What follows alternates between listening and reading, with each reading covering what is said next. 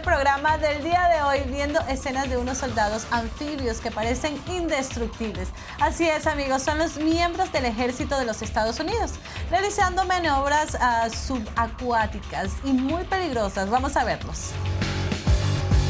Después del desastre de un huracán, entran en acción los soldados de la Guardia Nacional y del mismo Ejército Activo de los Estados Unidos. Pero pocas veces los hemos visto en acción como los vamos a ver a continuación. A pesar del alto nivel del agua en la carretera de la ciudad, estos audaces soldados se lanzan a cruzar las calles en sus automóviles anfibios. Véase la manera tan insólita en que casi se hunden por completo bajo el agua y navegan como si fueran submarinos. Pero una cosa importante, estos soldados no llevan casco de buzo ni nada por el estilo. Entonces, ¿cómo le hacen para aguantar tanto tiempo debajo del agua? Al fin de varios minutos de navegación, por fin empiezan a emerger los autos y es casi sobrehumano mantener la respiración por tanto tiempo. ¡Qué insólito!